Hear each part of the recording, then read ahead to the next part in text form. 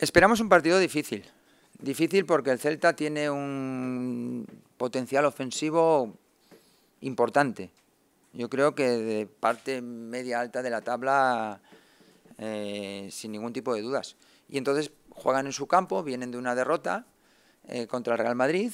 Eh, es indudable que se nos espera un partido muy, muy, muy difícil. Pero nosotros estamos bien.